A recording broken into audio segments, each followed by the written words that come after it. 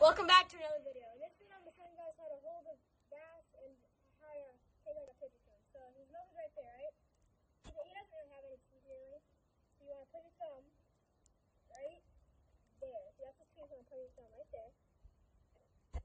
Just like that, right? If you want to take a good picture, have him out like this. The really good trick is to put him out like that because then it looks way bigger.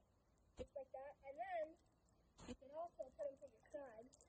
Measure how much he is. This is a five pound bass, so this is this is a nice one.